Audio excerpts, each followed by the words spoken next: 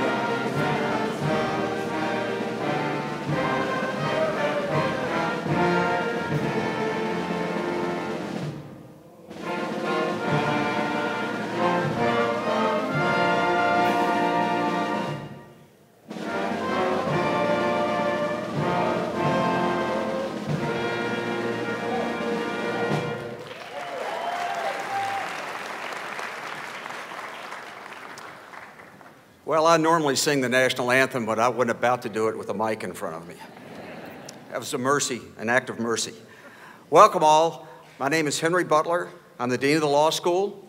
This is the 37th convocation of George Mason University School of Law. Together, we celebrate our graduating class and welcome them, them into our family of alumni. In very few years, our school has become one of the preeminent seats of professional legal education in the United States. Our students and faculty have earned the respect of judges, the practicing bar, and the academic community. The class whose graduation we celebrate today is among our most distinguished and promising. The future of each of you, of each of you is intertwined with your classmates and with the law school and the university. Let me, let me offer the hope and indeed the prayer that, along with the privileges associated with your degree, you will shoulder the demanding responsibilities that your professional life entails. Several notable guests are with us today to share in this celebration. I am joined on the stage by a graduation speaker, the Honorable Pauline Newman of the United States Courts of, Court of Appeals for the Federal Circuit, George Mason University Board of Visitors Stuart Mendelsohn, and Ann Gruner. Our program begins with our student speakers. Please welcome the outgoing president of the Student Bar, Ryan Watlett.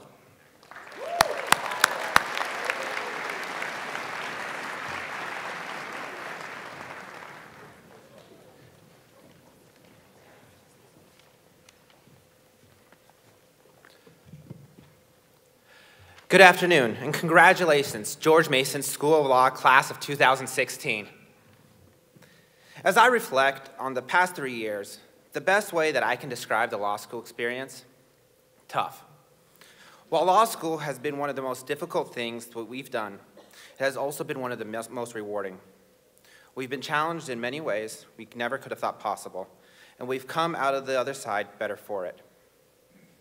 From being challenged by your excellent prof professors, especially Professor Parker's Civ Pro class, to dealing with the effects of overcaffeination and sleep deprivation, we have survived. And I know that I probably would not made it through today if not for the support and sacrifices of my wife, Casey. And I know that each of my fellow classmates have an individual, or many individuals, that have supported them and made countless sacrifices to walk with them as they have accomplished this feat. So on their behalf, I would like to thank the parents, siblings, husbands, wives, boyfriends, girlfriends, and everyone else here today for your support. It has also been my pleasure to serve as SBA president this past year, and I have enjoyed working with so many excellent student leaders who have cared so much about our school and about what they have done. I would especially like to thank my fellow SBA board members who are graduating today. Richard Baca, Amelia Henry, Luke Daniels, George Johnson, Mike Bliley, and Babak Zarin for their hard work, commitment to service, and desire to improve the Mason Law community. Finally, to my classmates, it has been great to get to know you as classmates, and I look forward to getting to know you as colleagues. Whether we are staying in the area, or whether you are staying in the area and practicing, or leaving to various corners of the map, Two things I hope we never forget are the good times had and lessons learned in Old Hazel Hall. Thank you.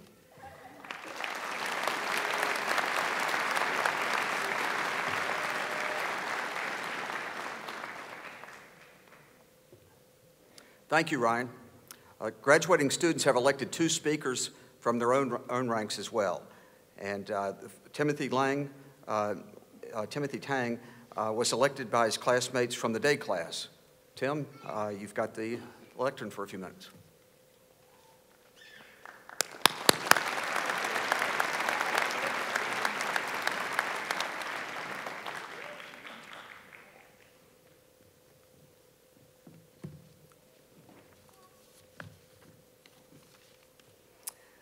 Alrighty. Hi, everyone. Oh. My name's Tim Tang, and I've been asked to speak on behalf of the day students. Full disclosure, I'm thinking I was chosen likely due to my aggressively non-controversial nature. We'll see if uh, that stays the same way. Um, I think we just probably needed to balance out all that fighting over the name change, though.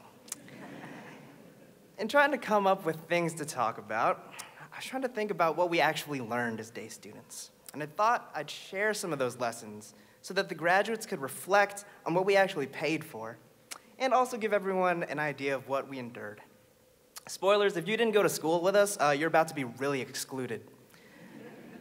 In terms of life lessons, you can always use a bedazzled shock collar to get back at a school bully. Before buying a home, always check to see if the basement was once a morgue. Never, ever try to impress your significant other with a penguin suit. There's always a conspiracy behind food trucks.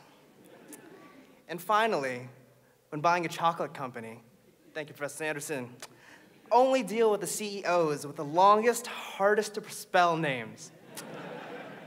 All right, so has everyone been properly excluded now? All right. But outside of the content, content that we actually paid for, there's also a lot of aspects of law school that I'm going to miss.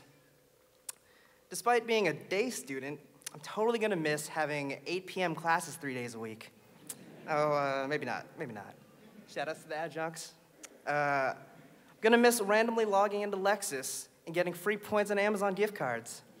Actually squeezed out $5 this week. Sid Das, I see you, I see you. Going to get free food at career panels if there was anything that was carried over from undergrad, it was definitely that. And IP Law Society had the best food, just saying. Finally, Puppy Day. We all know all about that. I don't know about you guys, but my law school experience was pretty great. But you know, our 2016 class is also going to be missing out on a lot of things coming up. I mean, we're the last official class under the name George Mason School of Law. And hey, good or bad, we're just officially not getting that. But more importantly, we're not getting that $30 million. or, or, or maybe we already did. So I'm not sure if everybody knows this, but the school paid for our caps and gowns today. Hey, Dean Butler, how about uh, you take some of that money and pay for the rest of our loans, too? no, but we're alumni now, right? So you're going to be asking for money on top of our loans. No. But I think the biggest thing that's flying under the radar that we're gonna miss out on are the new dining options. So did you guys know that tomorrow, Einstein's Bagel is essentially, is finally closing? That was a, oh, there we go. So that was essentially the only dining option that we had while our entire law school careers. So, Dean Butler, did you buy Einstein's a cap and gown too? No. But see, they're replacing Einstein's with an Au pan. And now, Einstein's Au Bon Pain, though, I, I don't know. That's like asking me to vote in an SBA election. I don't really want, I don't really want either, but you know, I'm okay with whatever's there. no, no, I'm just kidding though. I'm just kidding though. Well, I want, I want to, I want to thank SBA for letting me speak today. I also, I want to thank everyone here for listening to me and for coming out and supporting the graduates today. Uh, and I hope I can speak on it on behalf of at least the day students and give a big thank you to our friends and family who have put up with our endless rants about law school, who patiently or not so patiently listened while we annoyingly excluded them from all of our law school talk. I'm thankful for the friends I've made at law school, we often spent more time with them than the people we really wanted to spend time with. but hey, solidarity is what kept us sane.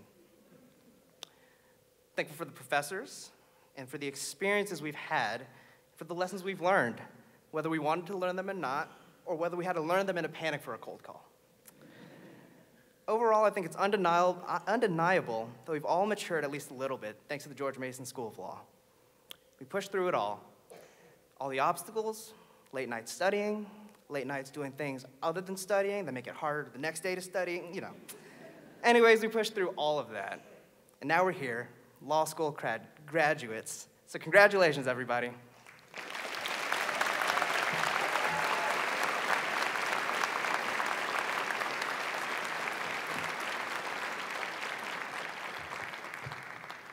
Thank you, Tim. Brandon Gould was elected by the evening class. Brandon, the mic is open.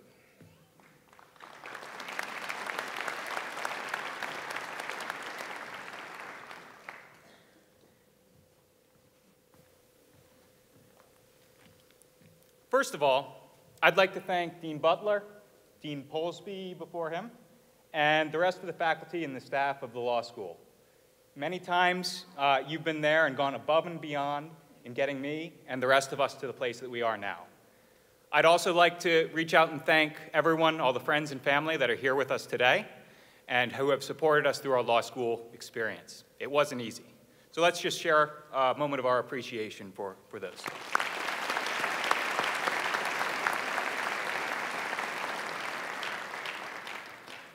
Well, we did it. It's been three, and, and for us night students, four long years of work, study, class, journal, and other activities with hardly a moment to rest or reflect. It seems like just yesterday when we were studying for our first L, 1L exams, or working up to a deadline on a LRWA assignment, or learning to spade in our spare time. And after finishing our final exam or submitting our last paper, it feels like we can finally step back and take a deep breath of fresh air. But it's only for a moment. Because come Monday, we're going to plunge back into studying for the bar, back to our old jobs, back to our new jobs, and to searching for jobs. And the pace won't slow down as we race on forward towards our careers. But that doesn't mean, just because it's a moment, that this weekend isn't important. Rarely in life do you have opportunities to step back and think about the future. This is one of those moments. This is a time to ask big questions like, why did I come to law school?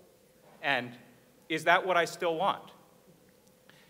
And how can I give back for the opportunities that I've received? And how can I make a difference with what I've learned in law school? Where do I see myself personally and professionally, in five years, in 10 years, in 40 years? And how do I get there? This is one of those moments in life for me as well. In the next couple weeks, my wife will give birth to our first child.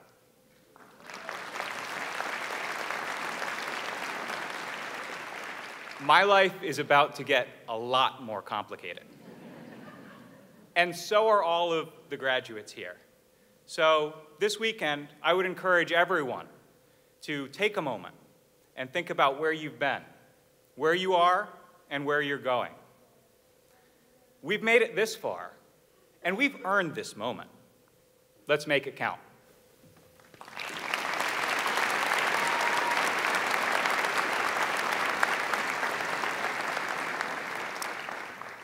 Thank you, Brandon. Each year, each year, the graduating class elects an instructor to speak at convocation. This year, you selected Professor Michael Krauss. I'm probably not supposed to do this, but I applaud you on your selection of Professor Krauss. Uh, over the past year, I've met literally hundreds of, of George Mason Law alums, and he is by far the most asked about professor that we have. Uh, he clearly has a big impact on our students and our alums for years after they leave. So I think it's really great that he's uh, been selected by you to speak. Professor Krauss teaches torts, legal ethics, products liability, and jurisprudence. He also has a regular, regular column on Forbes.com. In 1994, Professor Krauss became the law school's first recipient of George Mason University's Teacher of the Year Award for his engaging and challenging approach in the classroom, something you guys know about. At a national level, he was nominated for Best Law Teacher in 2010. We very much look forward to his remarks today. Professor Krauss, have at it.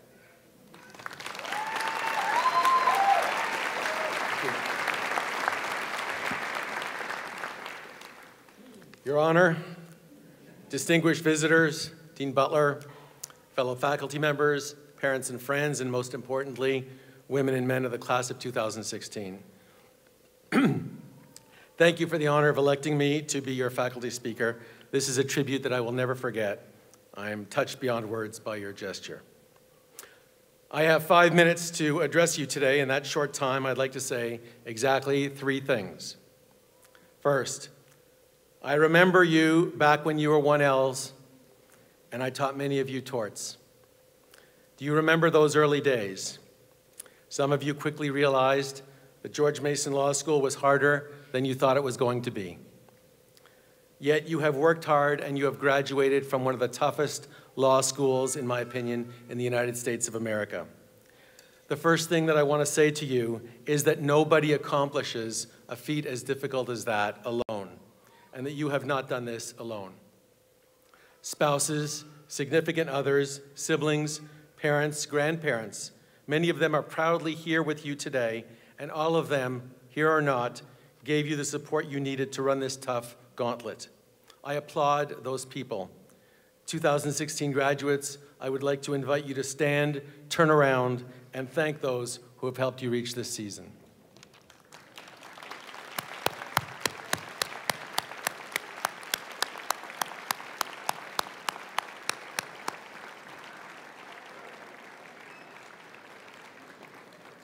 Thank you. The second thing I want to say to you today involves telling you an old and true story.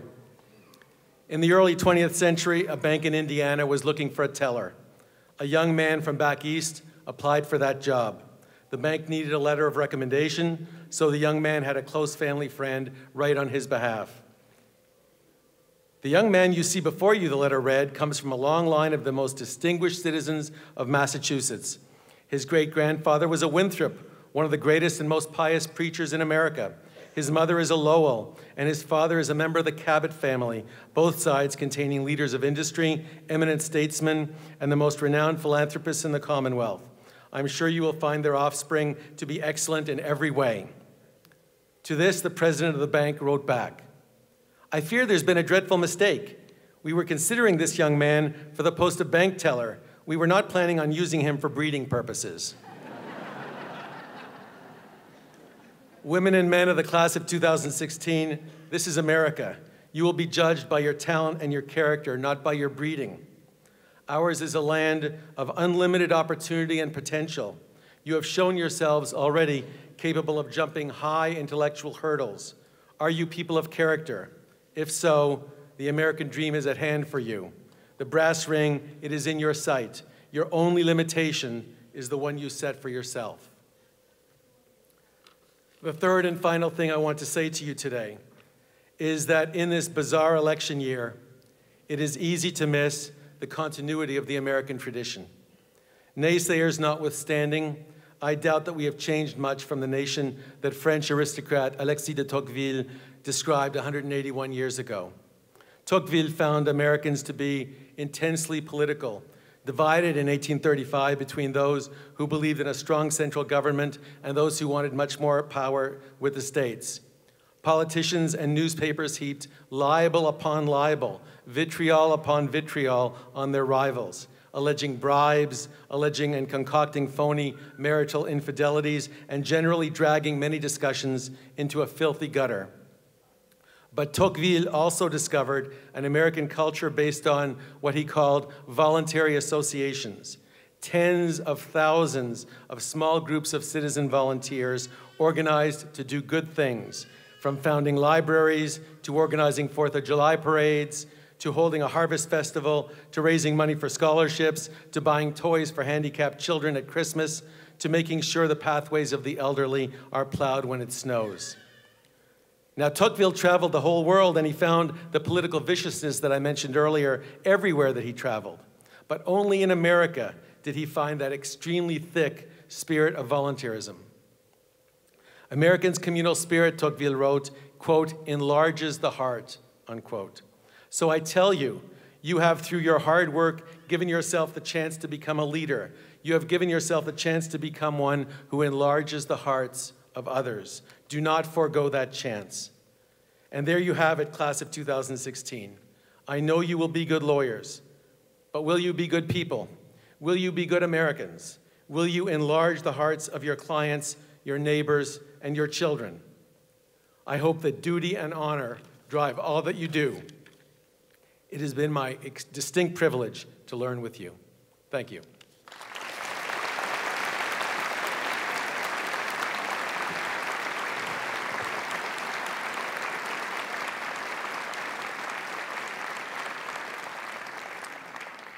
Thank you, Michael. It is now my privilege to introduce our convocation speaker, the Honorable Pauline Newman. Judge Newman was appointed by President Ronald Reagan to the United States Court of Appeals for the Federal Circuit in 1984. Judge Newman holds degrees from Vassar College and Columbia University, as well as a PhD in chemistry from Yale University and an LLB, that's what we now call the JD, from New York University School of Law. Judge Newman started her career as a research scientist before combining her science and law knowledge when she joined FMC Corporation. First as a patent attorney, then as an in-house counsel, and finally, finally as director of the Patent, Trademark, and Licensing Department. Judge Newman has also served as a science policy specialist in the Department of Natural Resources for UNESCO, on the Domestic Policy Review of Industrial Innovation, and on the State Department Advisory Committee on intellectual property, and finally, and perhaps most importantly, on the Judicial Advisory Board of George Mason University's Law and Economics Center. This is not her first rodeo. Judge Newman delivered our commencement address in 1987, my first year at George Mason. She is truly a great friend of Mason Law. Please welcome Judge Newman.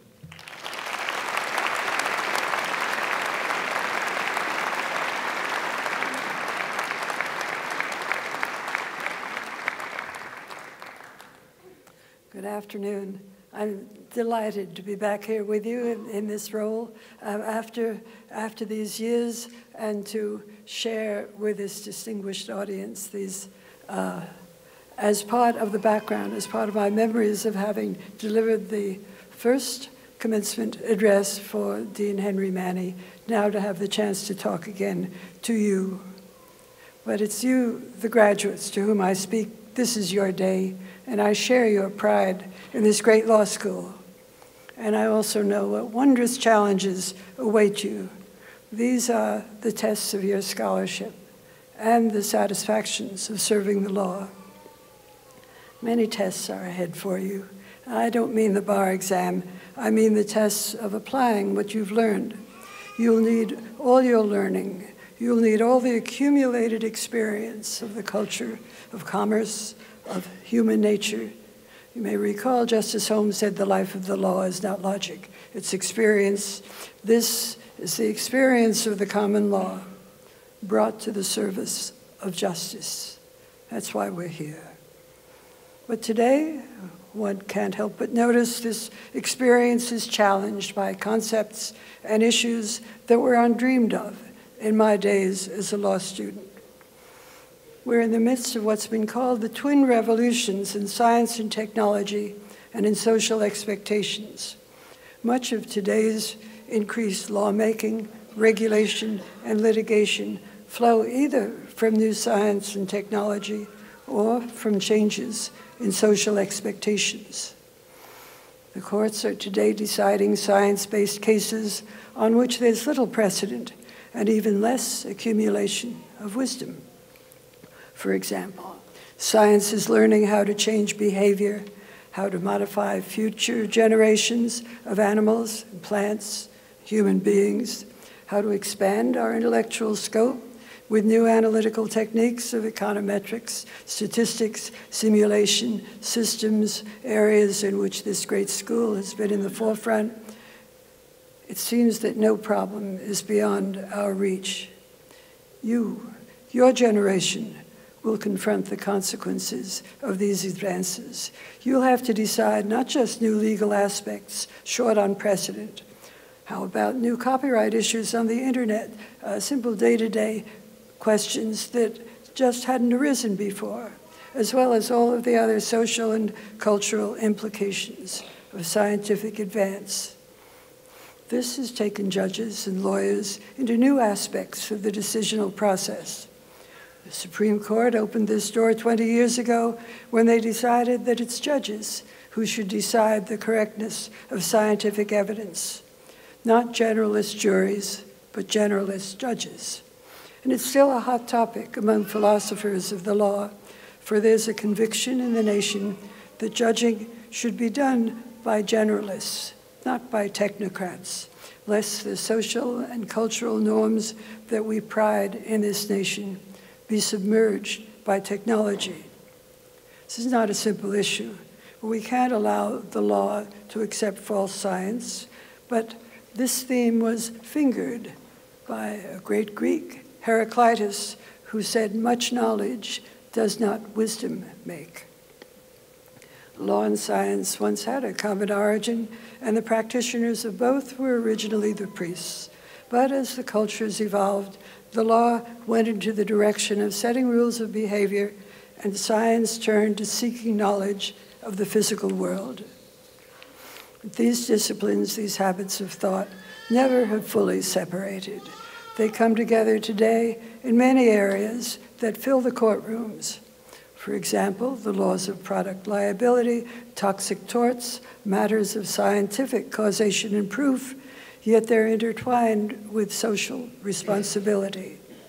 And the scientific aspects are rarely simple. Today, much commercial litigation turns on technological complexity.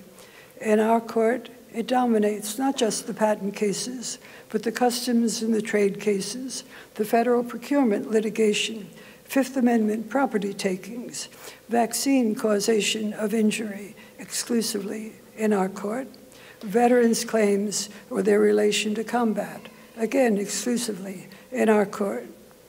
These cases often call on scientific evidence, proofs, scientific probabilities, often incomprehensible to the layperson, incomprehensible to judges, even those with a scientific background.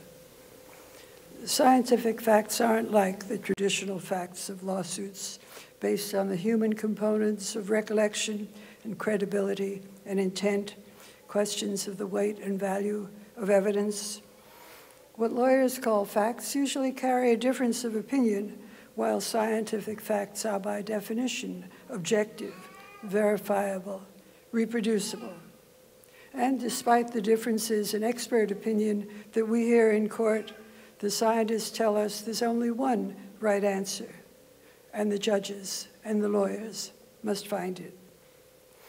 So, as judges, we often, on our court, the courts in general, must make scientific findings that the scientists are not able to make. I keep telling them it saves them a lot of laboratory time. And it's not necessarily bad if you agree with those who say that the only role of judges is to settle disputes. I think of Rabelais' Judge Bridlegoose, who tossed the dice for each plaintiff and defendant. Because of failing eyesight, he didn't always read the dice accurately, but he had never been reversed. So we have this strain on modern decision making by judges. It's well recognized, and there are ongoing projects to educate judges, especially in the fields of biology, biotechnology. We know from the press and from what we've learned the power of DNA evidence when it's admissible, not only to exonerate people on death row or to solve unsolved crimes, but those issues are scientifically established, but how about looking at genetic tendencies to violence as a sentencing tool? How about the adoption cases where the adoption child is in an, environment of parental secrecy but wants to know the genetic heritage, although again, it's supposed to be kept secret. The courts have to decide. The lawyers and the judges have confronted this and many other issues uh, removed, one would think, from the details of scientific achievement. So, you, the graduates, your generation of lawyers, you'll have to balance this enormous capability of new science, of new knowledge, with the human elements of dignity and privacy. Think about academic freedom, commercial incentive, and the Constitution. The Supreme Court, in its decision on the patentability of genetically engineered bacteria, said that the courts could no more contain scientific research than Canute could command the tides. So we have a culture on the availability of information on everything and everyone, raising pressing questions of privacy, human dignity, governmental intrusion, private snooping.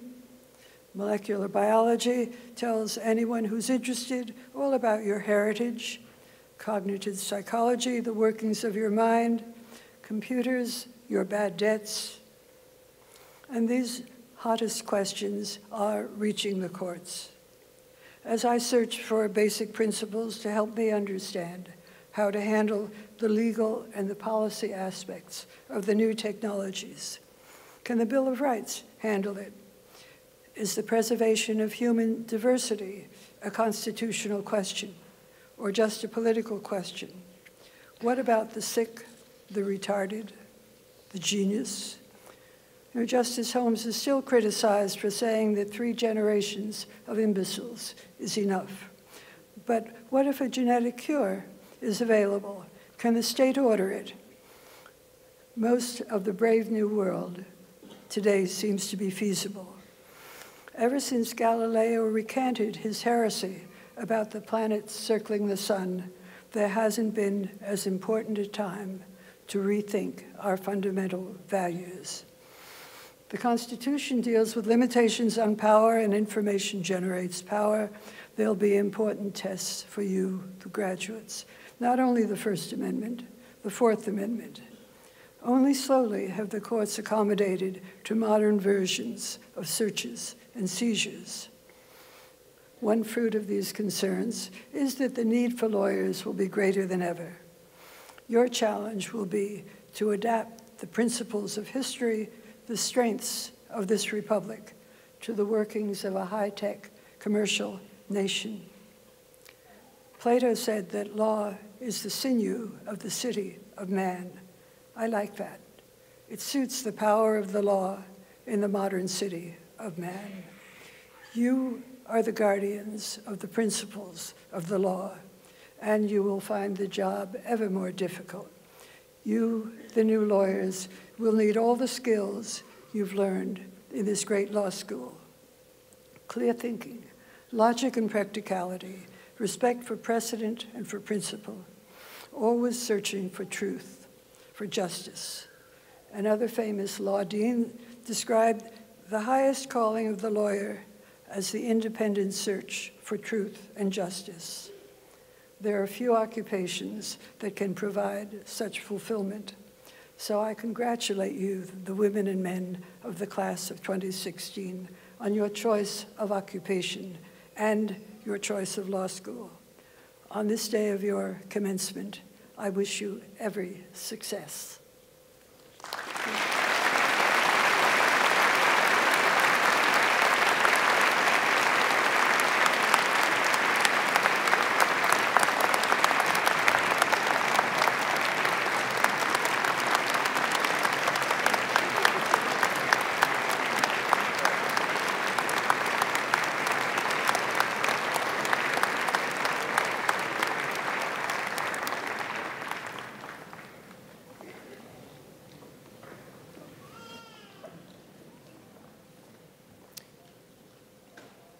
Thank you, Judge Newman.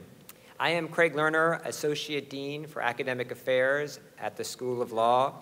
Now is the time to recognize students who have received awards for academic achievements or service to the community. Once your name is called, please come up to receive your award from Dean Butler.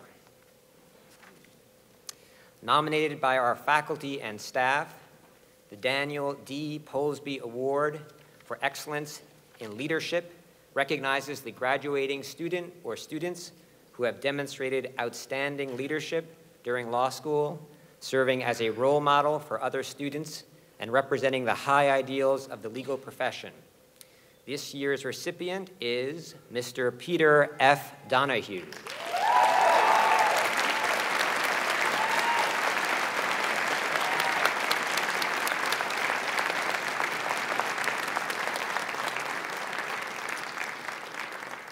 Nominated by our faculty, the Henry G. Manne Award for Excellence in Law and Economics is awarded to the graduating student or students who have demonstrated excellence in law and economics coursework and studies during their time in law school. This year's award goes to Ms. Elise Marie Nelson.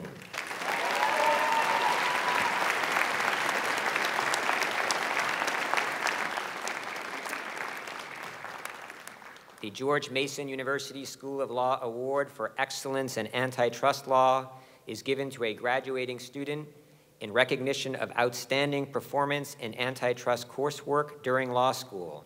This year's recipient is Mr. Jeff Moody.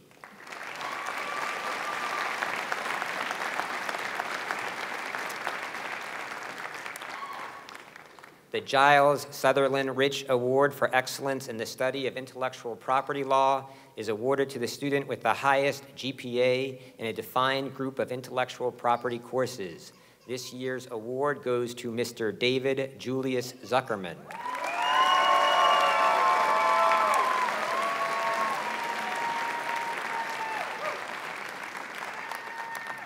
Nominated by our faculty and staff, the Law School Community Service Award is given to the graduating student or students who have engaged in outstanding service endeavors that have positively influenced the law school community.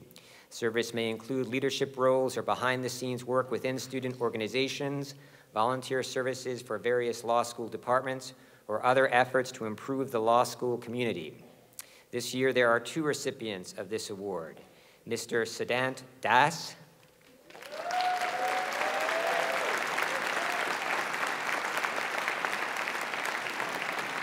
And our other winner is Ms. Taylor Danielle Hoverman.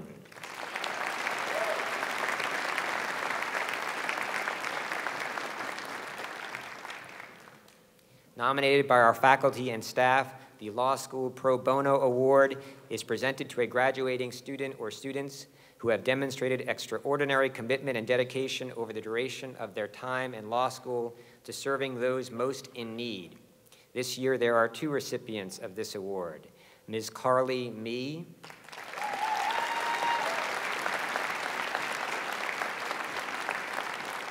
And our other winner is Ms. Nady Peralta.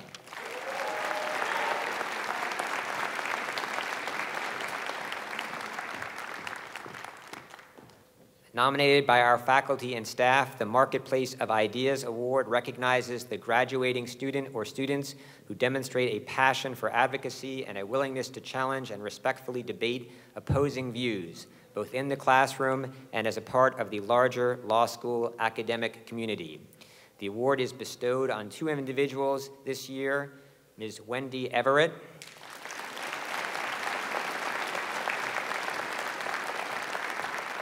And our other winner is Ms. Stephanie Lee Groff.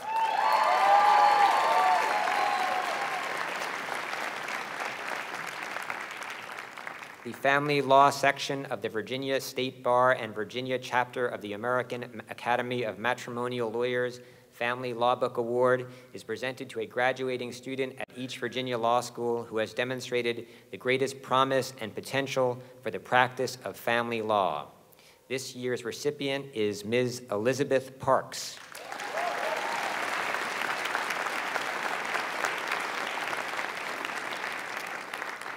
The Virginia Trial Lawyers Association Student Advocacy Award is presented to a student at each Virginia law school who best exemplifies the attributes of an effective trial advocate, including a de dedication to preserving the rights of individuals and excellence in trial skills.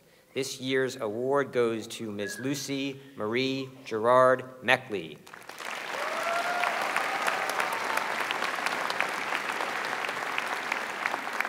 Congratulations to each of our award winners.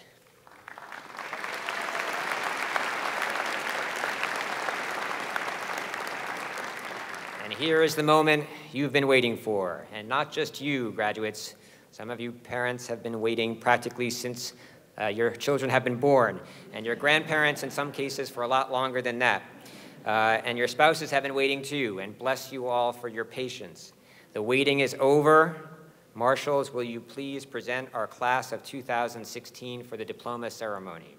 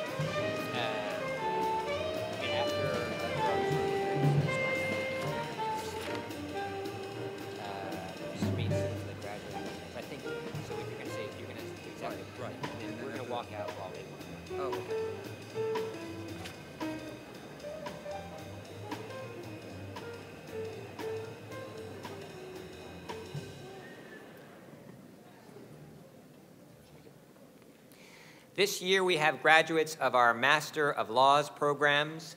These programs provide students with an opportunity for a rigorous and focused study of one area of the law. The students graduating with an LLM in law and economics are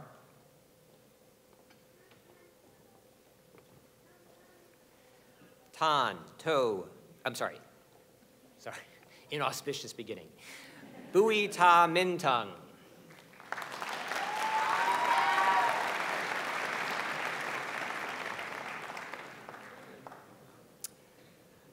Babak Akbari Zarin.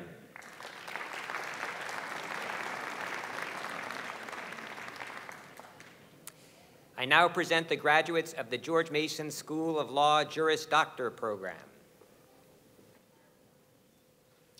Ryan James Watlett.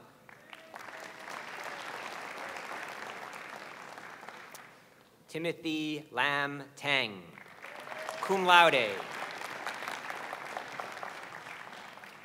Brandon Robert Gould, summa cum laude. Peter F. Donahue. Elise Marie Nelson, cum laude.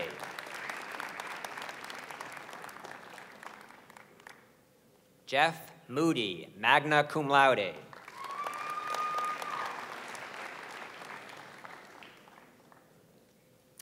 David Julius Zuckerman, cum laude.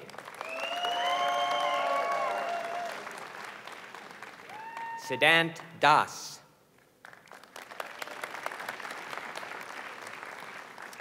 Taylor Danielle Hoverman. Carly Me, cum laude.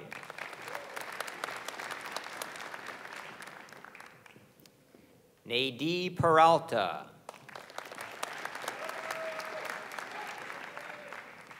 Wendy Everett, cum laude. Stephanie Lee Groff. Elizabeth Parks. Lucy Marie Gerard Meckley. Mark Emilio Sioko Abrahano, cum laude. Zainab Elif Aksoy, magna cum laude. Ryan Timothy Andrews, magna cum laude.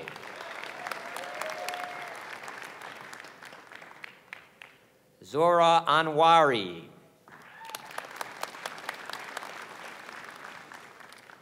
James Philip Atkinson.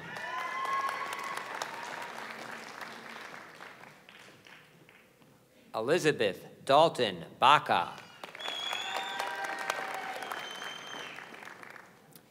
Richard Baca.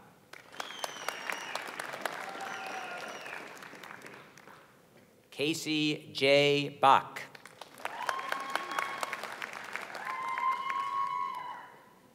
Priyanka Bujaj.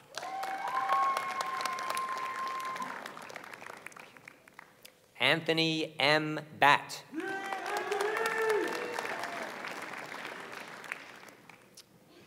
Ian Joseph Bucalaire, cum laude.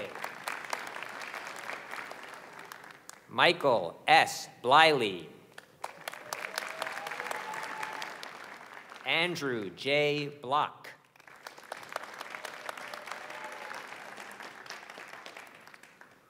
Brandon Bradley.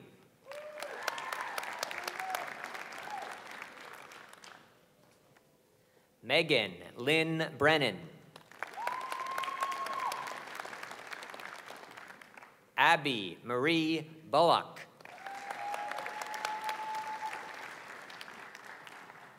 Ryan Burak.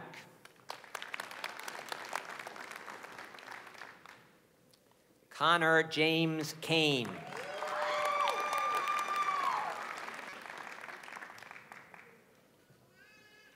Emily J. Canis, cum laude. Brian J. Cannon, magna cum laude.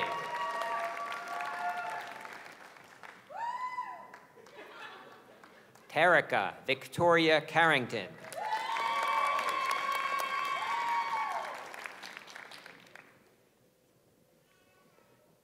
Alice Cassell, magna cum laude. Adrian E. Chachi.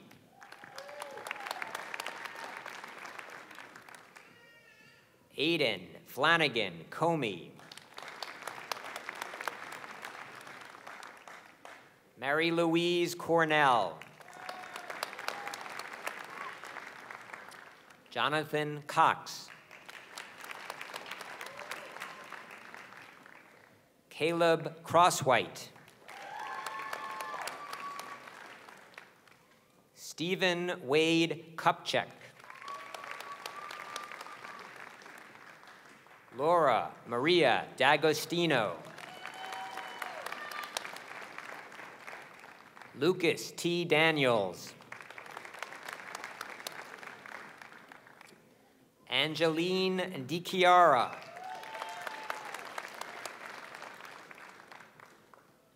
Mark DeSantis. Zachary Andrew Dubler. Matthew Lee Devendorf. Megan DeWitt.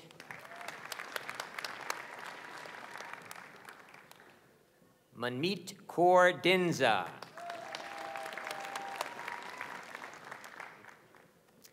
Danielle Elizabeth Ely. Blake W. Freeman, magna cum laude. James Fultz. Kathleen Frances Garman, cum laude. Anna Gentry. Chase Parson Grange.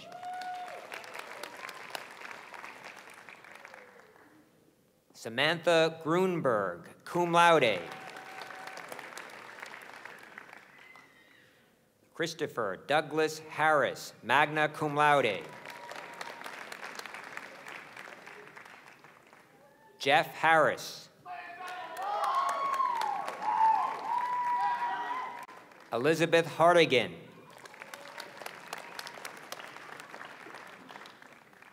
Amelia MacHarg Henry.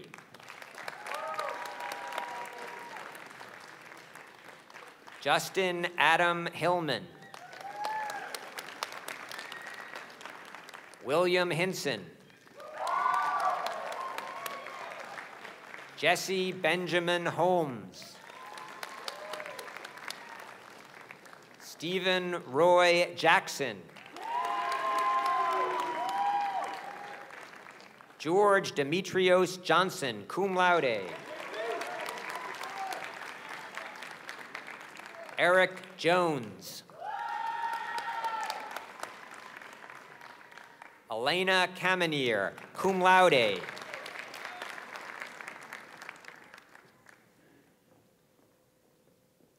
Sarish Khan. Sung Uk Koo.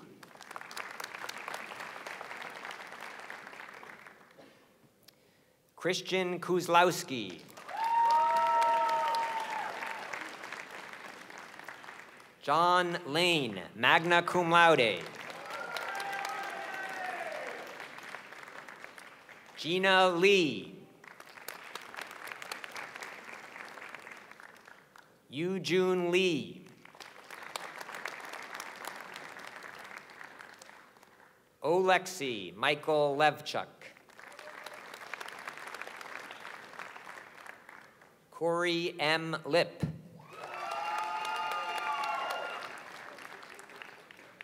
Olga Lurie. Lindsay Carol Maz, magna cum laude. Jacob Mace.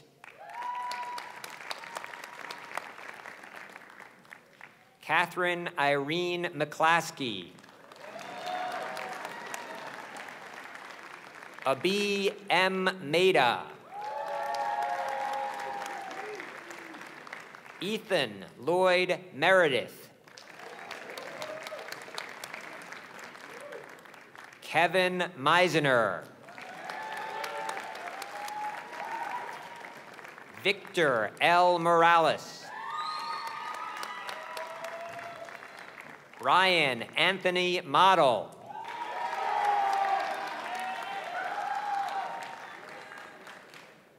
Monica Rose Munin. Sean K. Murphy.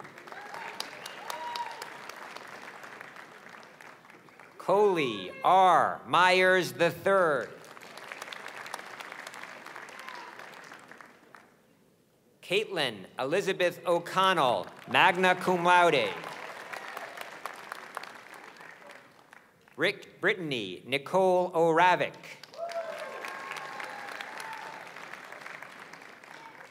Morgan R. Panko.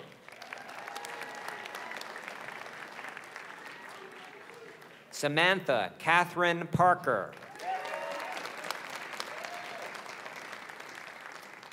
Gabrielle Catherine Peters. Lauren Flugrath, cum laude.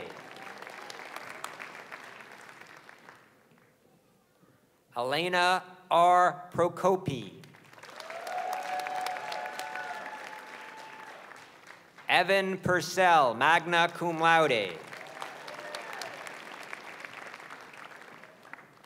Munya Rulam.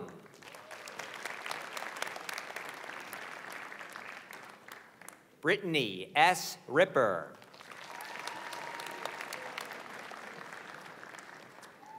Sarah Sammy.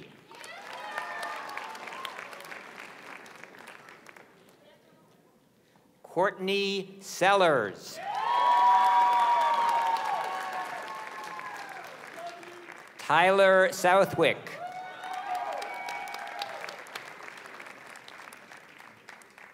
Boyd A. Stevenson, cum laude. John R. Thompson.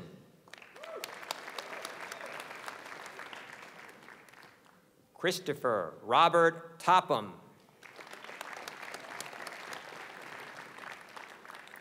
Matthew Scott Tully.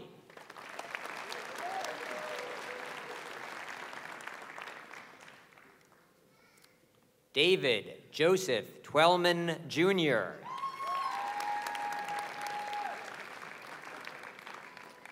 Devin Watkins, cum laude.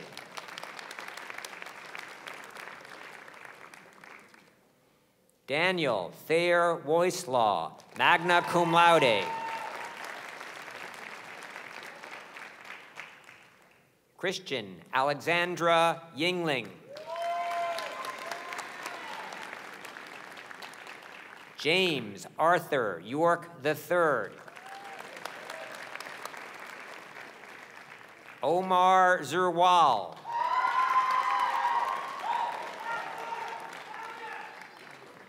Jennifer Lynn Zalonis.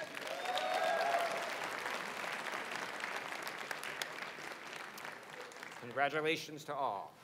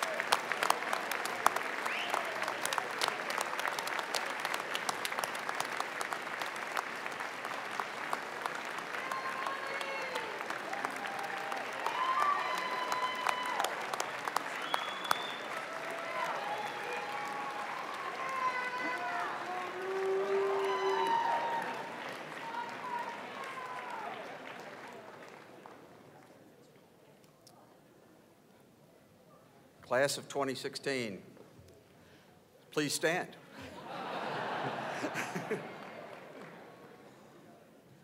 please move your tassels from the right to the left-hand side. Ladies and gentlemen, may I present the class of 2016.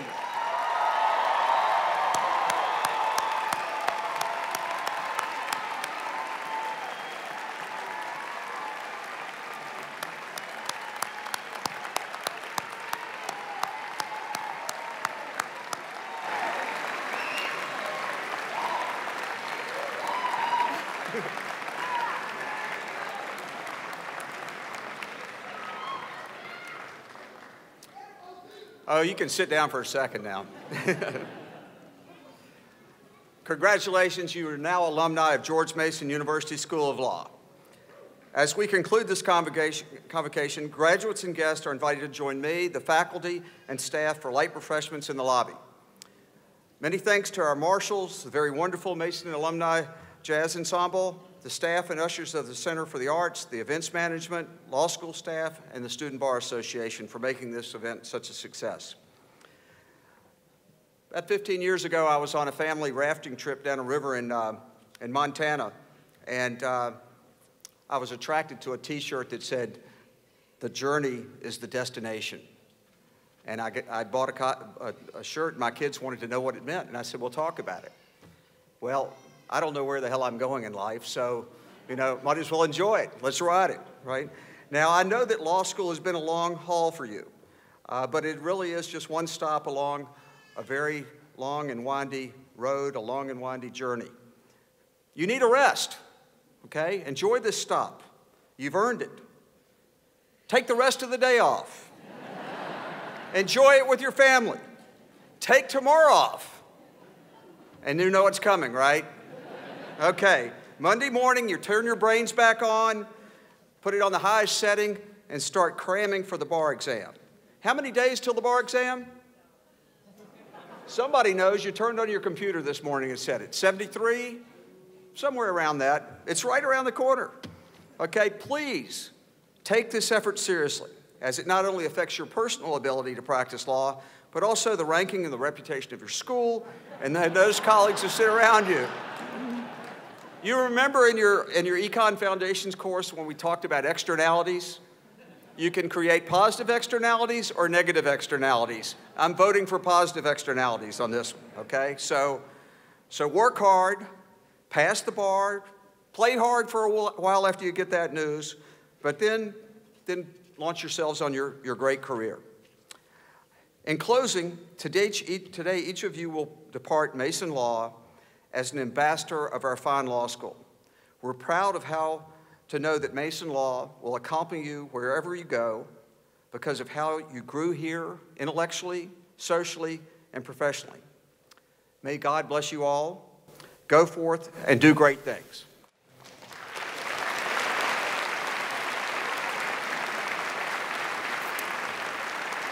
The, cl the class of 2016 and the faculty will now stand for the recessional. The audience, please stand and remain standing until the graduating class has left the building. Thank you very much. I look forward to seeing you in the lobby.